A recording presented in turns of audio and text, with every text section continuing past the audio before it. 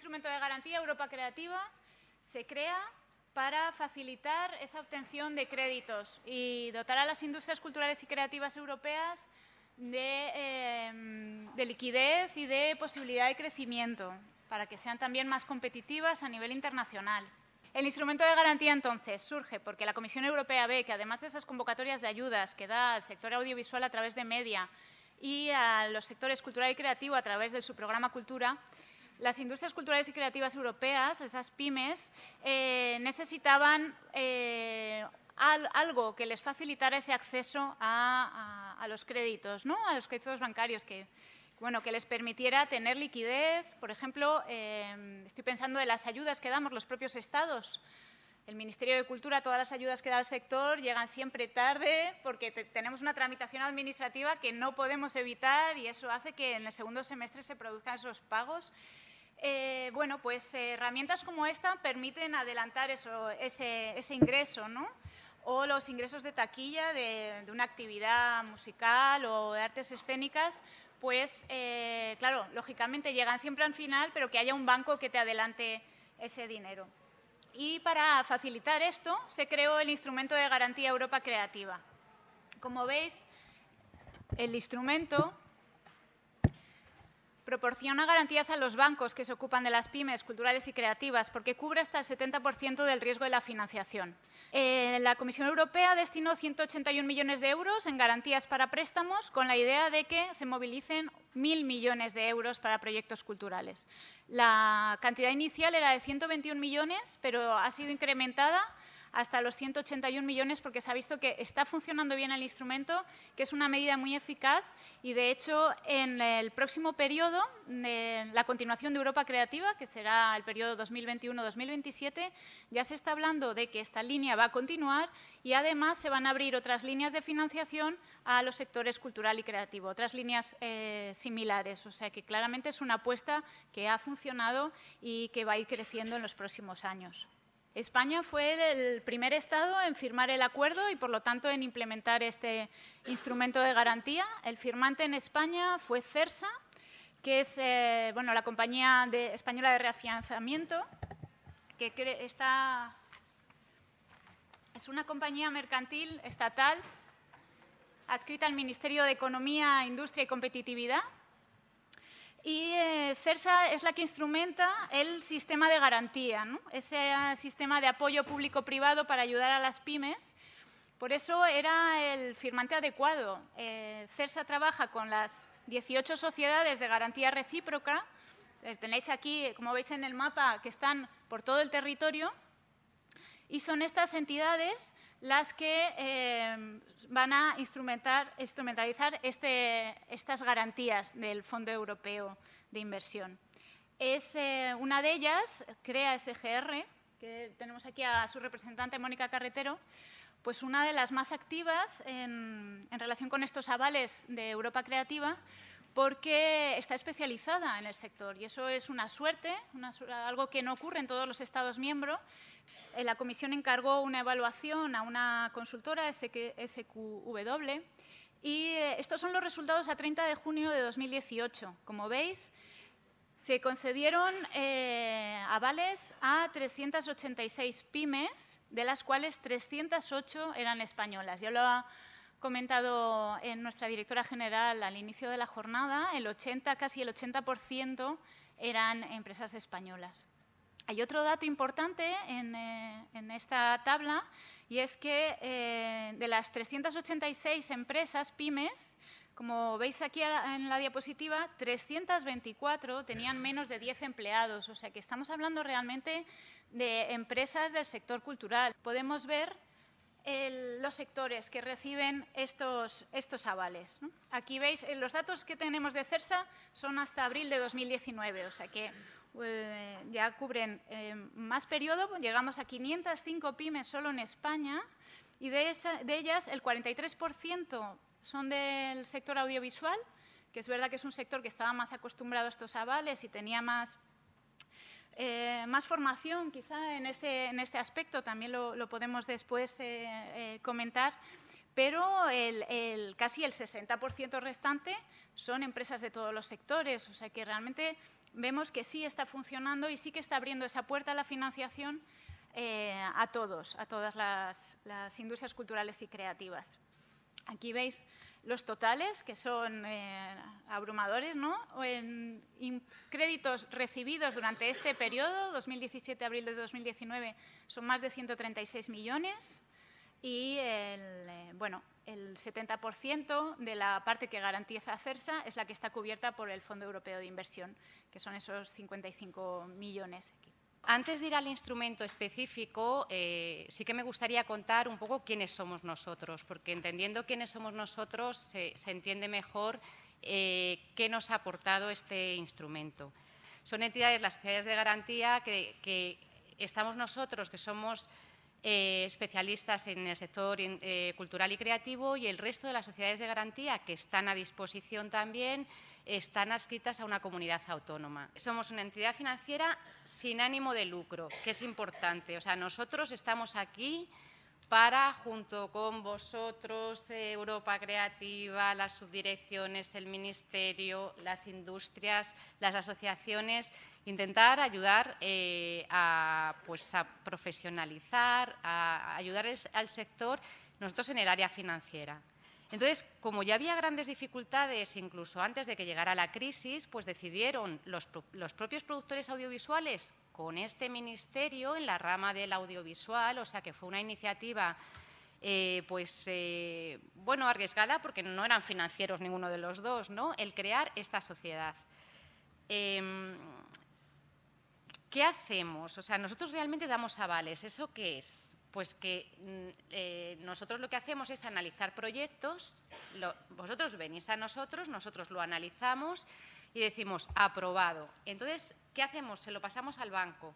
O sea, nosotros lo que, lo que hacemos es decirle al banco que el riesgo lo asumimos nosotros. Y entonces el banco, feliz, no tiene ningún problema en prestar dinero porque ya tiene el riesgo controlado.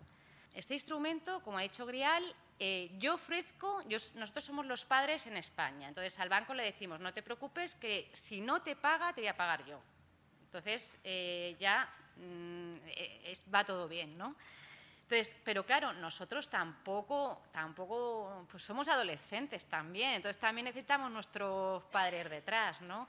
Entonces, este instrumento ha venido a darnos un respaldo tremendo, porque claro, sujeto a algunas condiciones, ¿no? pero que en la mayoría de los casos cubra el 70% de una operación, es decir, si por algún caso el proyecto va mal y el banco me pide el dinero, yo pago, pero luego hay, unos, o sea, hay una cadena detrás, yo se lo reclamo a CERSA, CERSA se lo reclama al FEI. La PYME, la PYME sois vosotros. Eh, autónomo, eh, SL, SA, si las hay, eh, fundación, asociación, mm, menos algunos casos en los que dices, pues no, si es una entidad pública, pues no, obviamente, o sea, tenemos una serie de cosas que cumplir, pero eh, la empresa llega a nosotros y nosotros vamos a tramitar todo. Entonces, eh, ¿Por qué? Porque si no es verdad que nosotros aprobamos el aval, pero luego, ¿qué hago? ¿Se lo llevo yo al banco? ¿Le hago esto? ¿Qué le cuento yo al banco? Al banco no tenéis que ir porque nosotros tenemos acuerdos con con los principales bancos eh, que trabajan en España.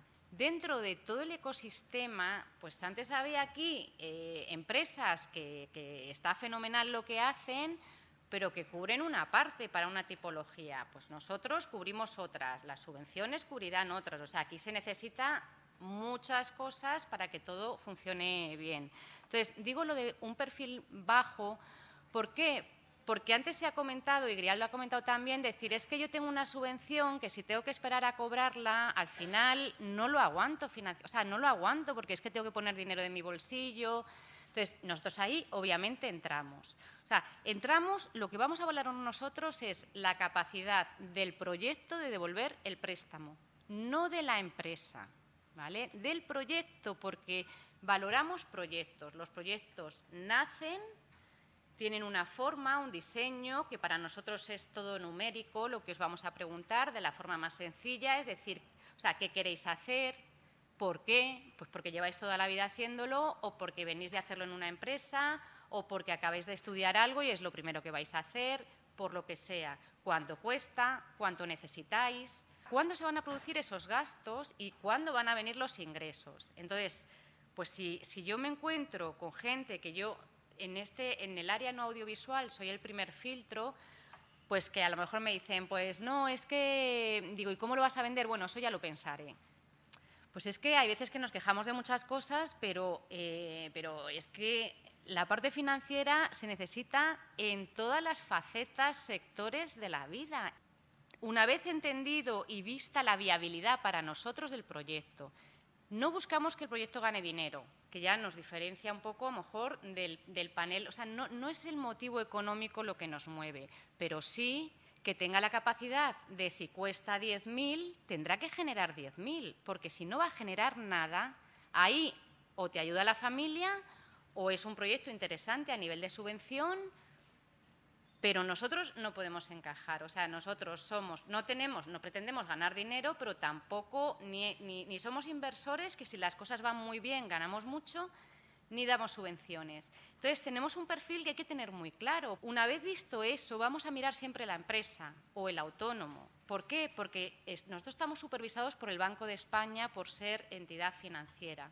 Entonces, no, tampoco podemos ir de, muy frikis porque el, mundo financiero es que te miran, eh, te preguntan todo y entonces eso nosotros tenemos que trasladarlo. Entonces, si es empresa, pues somos eh, como igual de rollo que otros, pidiendo impuesto de sociedades, escrituras, el modelo 347, el 3 no sé qué, el 3 patatín. La mayoría de la gente a lo mejor pues dice, ah, pues es que eso tengo que pedir a mi gestor.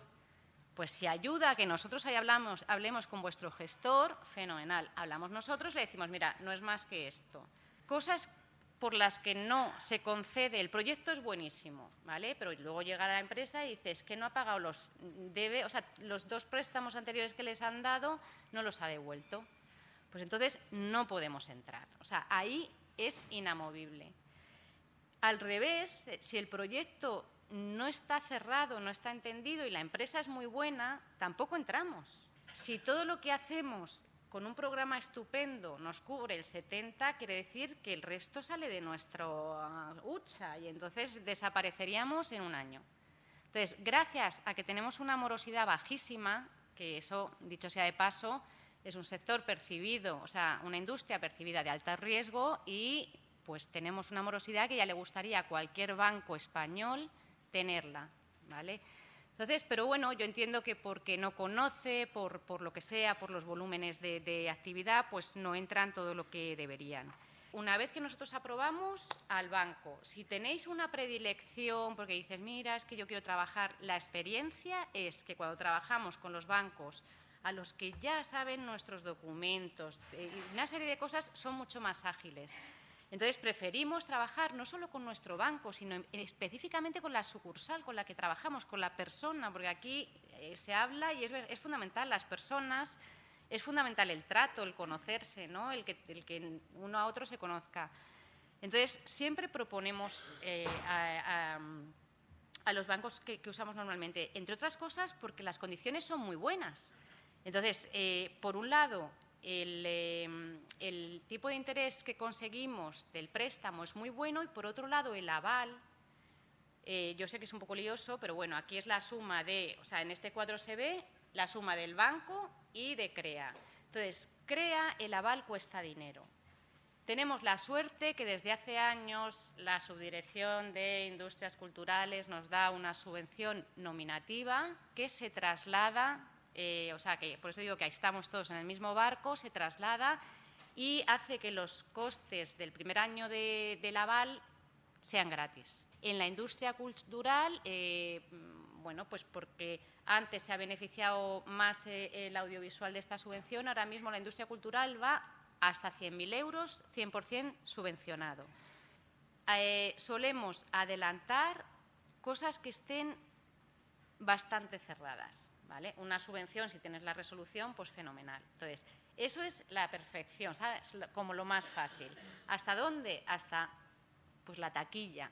Pero claro, la taquilla sois vosotros los que me tenéis que convencer que, que, sí, que se va a cumplir. Si tú me dices, ah, pues que no sé, ¿eh? yo no, bueno, claro, a mí que yo no tengo ni idea y no me voy a poner a hacer Entonces, los que nos tenéis que ayudar a ver el proyecto, eh, lo vamos a ver con ojos muy críticos, financieros, pero muy cercanos también. O sea, que, vamos a pedir lo que, lo que el proyecto eh, necesita que se analice. La empresa que no tiene recursos, nada.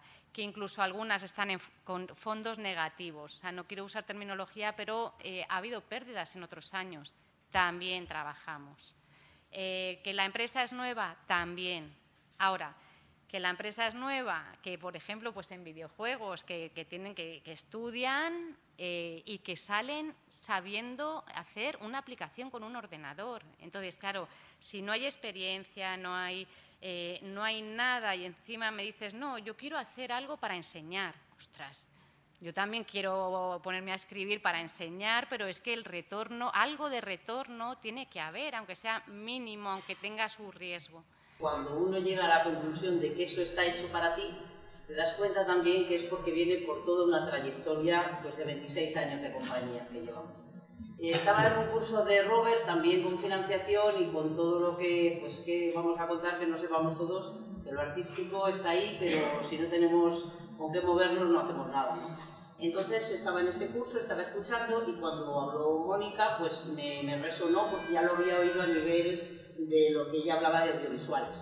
Entonces dije, me lancé a por ella, eh, tengo que decir, claro, que con la experiencia de los años, de los cursos, de lo que va haciendo uno a través de toda esta, cadena de años que yo era bailarina, pues eso me hizo lanzarme, porque a lo mejor alguien que no lleva mucho tiempo que voy a bajar por fea por ella a la José, le dije, mira, yo creo que esto es a la medida. Le expliqué y cuando volví a la clase dije, lo es. En esta ocasión teníamos un proyecto muy interesante que llevamos ya eh, años preparándolo, que se llama Figaro, Barbero de Sevilla, para hacer el ballet en, la versión de la ópera, pero solo para ballet. Aunque ahora ya, a partir de ahí, lo cuento Mónica, ya tenemos un proyecto para hacerlo con una orquesta sinfónica en directo. Hablé con ella, preparamos todo. Tengo que decir, y, yo pensaba que, que, estaba claro, y así lo vieron ellos, que claro, cuando llevas tanta trayectoria y tienes ya un, un bagaje de muchas subvenciones, de mucho, pues ¿por qué no iba a volver a pasar? Pues así fue, ¿no? En este caso yo fui la loca y dije, no, hay que hacerlo porque esto lleva una serie de cosas. Pero ¿y cómo lo vamos a hacer si no tenemos dinero? Si lo de siempre, ¿no? Que siempre estás mm, refinanciando, sacando de un banco para meter al otro, empiezas trabajando con un banco, ahora trabajas con ocho, aunque espero ya irlos reduciendo, pero todos van funcionando. Tienes ahí un juego de platillos, como decía Luis, un profesor el hombre ya no está, que siempre estás en ese juego de los platillos, estás moviendo uno y tú haces con el otro, ¿no? Pues ahí estás. Entonces, gracias a la intuición que tuve, ahora tengo que decir gracias, nos lanzamos. Nos lanzamos y de repente aparece Mónica.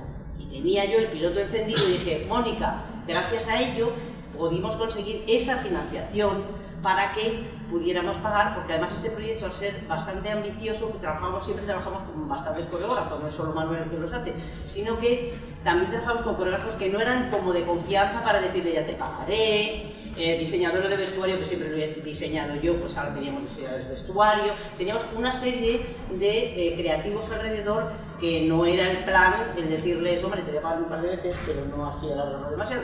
Entonces apareció esto y la verdad es que en su principio era mm, viable, fácil, luego hubo una etapa ahí más difícil, pero que venía dada, como bien dice ella, por el tema de la adaptación, de que están acostumbrados a muchos ceros y ahora quitar dos o tres ceros, que no es uno, son dos o tres los que se quitan a lo que están acostumbrados ellos, pues pedían una serie de cosas como que eran para eh, proyectos mucho más ambiciosos. Cuando ya, vio, ya vieron que era así, dijeron, es verdad, es que esto es mucho más fácil, y así lo fue.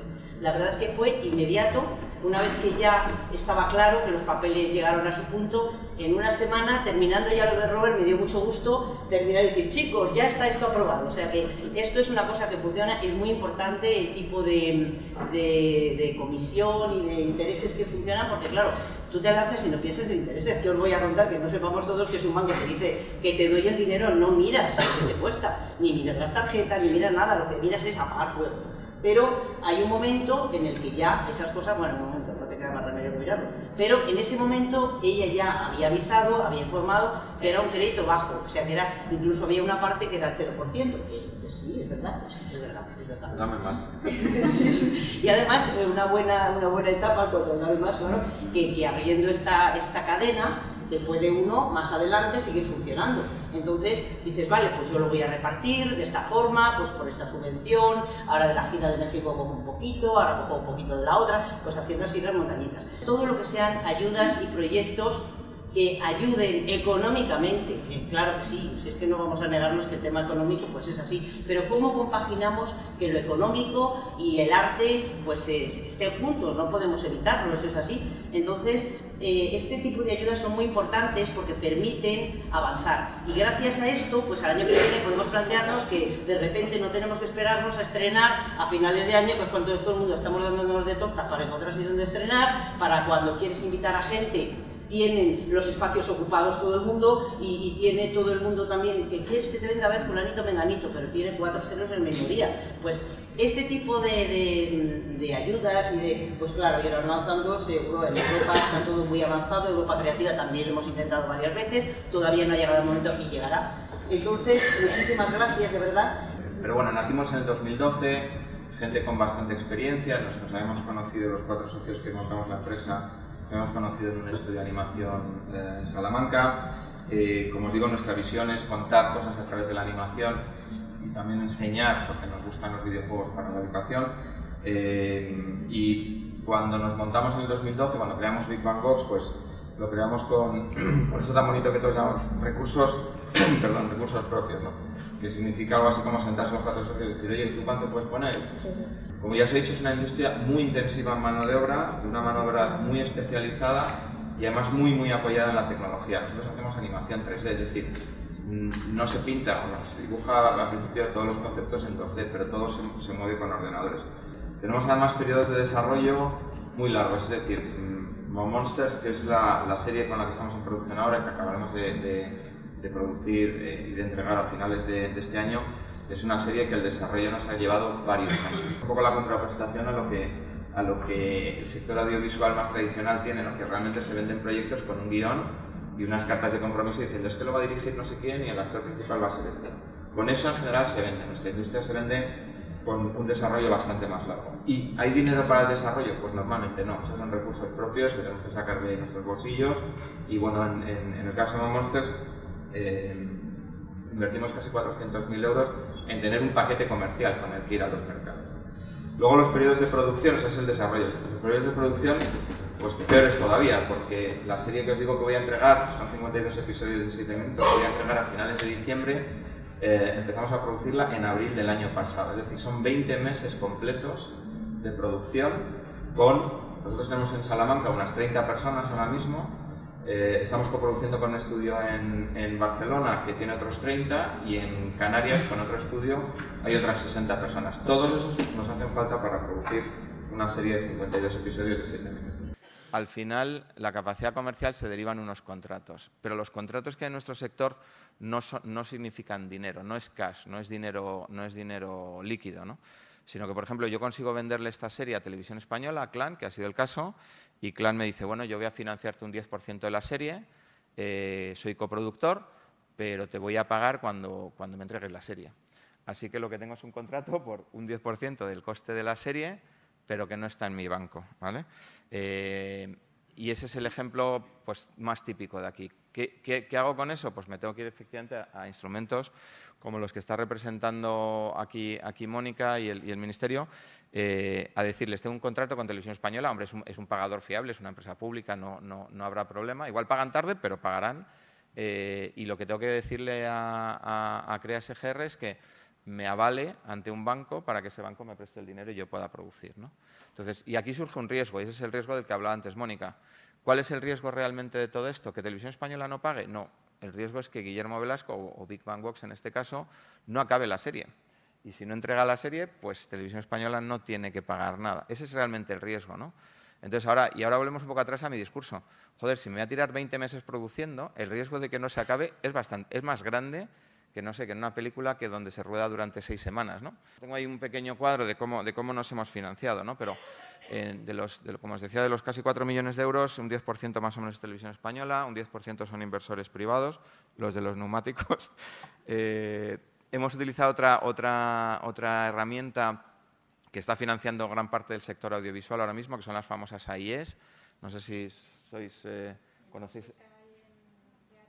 en, música en teatro, bueno, nosotros estamos utilizando, básicamente es, crear una asociación de interés económico donde eh, entrará un inversor que es ajeno totalmente a nuestro sector, mm, que va a mm, capitalizar unos créditos fiscales que surgen por, la, ley, por la ley que se establece. Eh, bueno, luego ayudas y subvenciones. La verdad es que eh, Castilla y León, donde estamos, es, un, es una comunidad pobre audiovisualmente. bueno, Aún así, se lo agradecemos muchísimo, es decir, nos han ayudado eh, con lo que han podido. La verdad es que hay, unos mecanismos ahí, estamos encantados, pero bueno, si estuviésemos en Cataluña, por ejemplo, pues las ayudas son distintas, son mayores, ¿no? pero es, donde estamos, donde venimos. Eh, también hemos sacado una financiación del distribuidor, es decir, nosotros nos hemos ido con nuestros Monsters a los mercados, finalmente hemos conseguido un distribuidor internacional muy potente y nuestra negociación fue decirle me tienes que adelantar parte del dinero de la distribución. Es lo que llamamos un mínimo garantizado. Entonces sacamos un mínimo garantizado de en torno al 10% del coste de producción que estamos gastándonos en la producción. Y luego el gap del productor, es decir, a pesar de todo, pues obviamente no, consigues la financiación completa y el 25% del dinero realmente es, dinero de, de Big Bang Box que hemos generado con otros proyectos o que aportamos los socios o, bueno, esos son, son recursos propios, ¿no? Es un poco como, como hemos ido. Otra de las cosas que se puede negociar con ellos es el desembolso del dinero, ¿vale? Nosotros, por ejemplo, la, todo el dinero que va a significar la AIE es un contrato que tenemos con el inversor, pero también había que ir a descontar. Y, y hay un banco ahí, que es, en, en nuestro caso fue Triodos, que trabaja con ellos, eh, SGR, Crea SGR nos avalaba el 50% de la operación y el otro 50% realmente es riesgo del banco. ¿Cómo puedo yo decirle al banco que, va a tener menos riesgo? Pues que no me dé todo el dinero de golpe, que me, vaya dando el dinero de forma que el 50% que ellos realmente arriesgan, es que si todo sale mal no cubre SGR, eh, me lo van a dar, me lo van a dar al final o más adelante en la producción cuando realmente la producción ya está tan avanzada que el riesgo es menor. ¿vale? Somos amigos de los flujos de caja, mucho, cuidado con los costes financieros, que son complicados, y sobre todo, eh, no vayáis a pedir dinero a alguien a decirle que, bueno, que ya veremos, o que estrenaré, o que tal vez mi distribución. No, yo creo que hay que ir con, hay que ir con datos, hay que ir con hechos y hay que ir con seguridad. ¿vale? Una serie no cuesta casi igual a 4 millones, no cuesta 3 millones, 700, lo que sea. ¿vale? Eso es un poco, y eso también yo creo que, no sé, Mónica, si, es así, pero a mí me, da muy, mucho, me provoca mucha inseguridad hablar con con coproductores que me dicen, bueno, a mí esto me podría costar. No, no, a ti esto, tío, te va a costar lo que te vaya a costar. Nos podemos desviar, obviamente, ¿vale? Pero en mis previsiones tiene que haber números enteros, ¿vale? Pues el gato al agua y el más del 90 o 95% de la facturación. Entonces, bueno, eh, nosotros somos 01 Games Digital, es una pequeña publicadora, editora y desarrolladora de videojuegos eh, esto empezó, realmente tienes apenas dos años, ¿no? O sea, es una empresa muy pequeña, no es una empresa que digamos, bueno, no, llevamos aquí facturando millones, ni mucho menos, para nada. De hecho, todo esto empezó como un sueño un poco de infancia. También es verdad que llegó a un acuerdo bastante bueno con el bar, pero bueno, da igual. El caso es que traje ahí un mogollón de personas y me di cuenta de que había muchísimo desarrollador de videojuego eh, con mucho talento, porque en España es un sitio donde hay de verdad mucho talento, gente muy buena haciendo creaciones audiovisuales, porque al final el videojuego es una mezcla un poco extraña ¿no? de lo que viene siendo audiovisual, con música también, tiene mucho de música, eh, también tiene mucha animación, una cosa brutal, ¿no? Entonces, aunar todo eso en uno, porque además es muy técnico, porque al final es una herramienta y es un programa, es una cosa informática, pues, eh, pues aúna como distintas partes y que muchas veces son complicadas de entender. Un programador no se entiende con un creativo o no se entiende con un músico y es como, hay que hacer eso, ¿no? Y yo muchas veces me siento un poco como el puente, ¿no? Entre o el traductor entre uno y otro, que es un poco lo que yo he hecho. Bueno, el caso es que estaba yo con este tema de los eventos y vi que había muchos desarrolladores de videojuegos. Y me di cuenta y dijo, jolín, aquí hay mucho potencial. Entonces, empecé y dije, bueno, voy a montar unos eventos. Y dije, bueno, ya que he montado este pequeño evento, voy a empezar con esto. Nada que ver con la informática, nada que ver con, con los videojuegos a priori. Pero eh, dije, voy a coger conceptos que ya existen y que he visto fuera, por ejemplo, unas charlas tipo TED, a lo mejor conocéis los TEDx, son charlas muy rápidas, muy, muy amenas. Y dije, ya que conozco a gente del sector del videojuego, voy a traerlos en un formato de evento concreto, ¿vale? además imitando prácticamente lo que es el TEDx, pero enfocado al videojuego. Esta vez no lo voy a hacer de pago. ¿Qué pasa? Todo se dio la vuelta, claro. Yo ponía las cervezas a 4 euros, claro, ya no venían 100 personas, venían 20 la primera vez. Entonces dice, bueno, no pasa nada, vamos a hacerlo como podamos, pero vamos a empujar hacia allá. y cogí una, además un, bar de por aquí, de Augusto Figueroa, eh, y bueno, puse pues esas cervezas que la gente pagaba, empezaban a, a, contar. Y había ponentes, yo les daba un tiempo muy cortito y eso empezó a poco a poco después pues, se corría la voz, ¿no? Y decían, ay, estos eventos están muy bien porque conoces a este, conoces al otro, conoces a no sé quién. Entonces, claro, yo lo que quería básicamente es crear ese ecosistema dentro del sector del videojuego para que artistas se conociesen, programadores se conociesen, músicos, etcétera, y se formasen un poquito lo que vienen siendo equipos de desarrollo, que no fuesen solo eh, pues cuatro chicos que estén en su casa, en un garaje o en su habitación, haciendo, no, no, es que este es mi juego y no quiero enseñárselo a nadie. Pues eso no es algo que yo recomiendo. Entonces, bueno, pues seguimos poco a poco con eso y después de dos años autónomo, que además agradezco al Ministerio de Cultura por, el apoyo que me dio en ese momento, que, fue, que fuese poco, pero fue algo, eh, sí tengo que agradecer que, me apoyó en ese momento pues para todo lo que es las herramientas que tuvimos que desarrollar, como la página web, la aplicación, etcétera, eh, fueron, fueron subvencionadas ¿no? por, por el Ministerio de Cultura y me las subvencionaron a mí personalmente como autónomo. Entonces eso fue un poco lo que también nos ayudó a ir creciendo ¿no? poco a poco. Y digo, vamos a dar una vuelta de tuerca.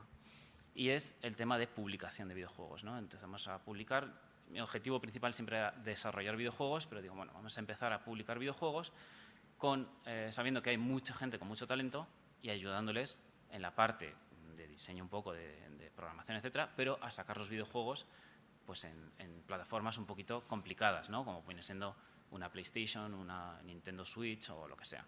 Poco a poco hemos creado 01 Games Digital, que al fin viene siendo una publicadora, donde lo que hacemos es ayudar, igual que en la industria de la música, de, pues de todo, ¿no? de la música, animación y tal, hay creadores independientes, a esos creadores independientes, que aquí, aquí hay muy buenos de verdad en España, darles voz y que se les vaya conociendo y poco a poco ayudándoles a que, a que eso crezca. ¿no? Y decidimos montar un proyecto eh, que, bueno, que, presentamos en, unas ayudas que, en este caso son de, Red.es, que estaban enfocadas puramente al videojuego y que la verdad que ni esperábamos, ni no sabíamos si iba a salir o no, al final había mucha competencia ahí, pero eh, dio la casualidad de que, de que nos lo dieron, ¿no? que nos dieron y nos dijeron que sí que íbamos a ser beneficiarios de ello. Entonces eso fue, fue muy, estuvo muy bien, lo que pasa es que esas ayudas también tienen su, su contra, claro, tiene su contrapunto.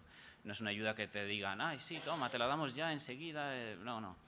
Eh, tienen que ver el proyecto y una serie de validaciones. Entonces, por eso yo también agradezco muchísimo también haber conocido a Crea SGR, porque gracias a que, bueno, eh, teníamos un poco pues, todo ese bagaje de atrás, ¿no? Más, digamos, esta ayuda, ¿no? Que, que, va a llegar, espero, tiene que llegar, vamos, sí, sí, llegará seguro.